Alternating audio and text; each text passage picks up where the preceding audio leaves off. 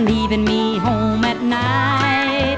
I tried everything that I know how to get you to treat me right. Why in the world did you marry me?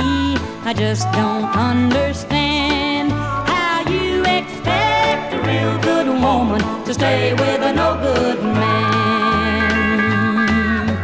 You know, I love you with all of my heart, and that's the way it should be. Rightfully belongs to me. You want me to honor our marriage vows, but on the other hand, how do you expect a real good woman to stay with a no good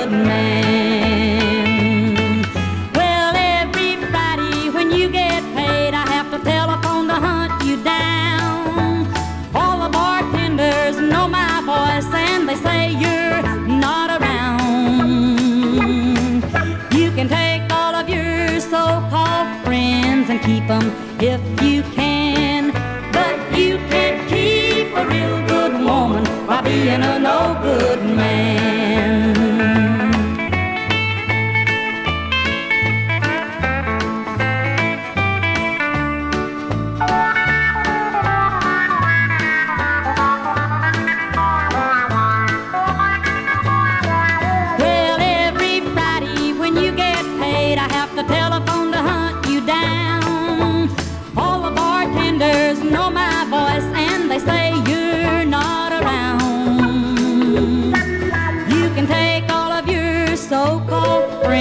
and keep 'em if you can.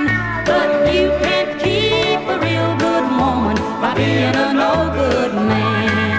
No, you can't keep a real good woman by being a no good man.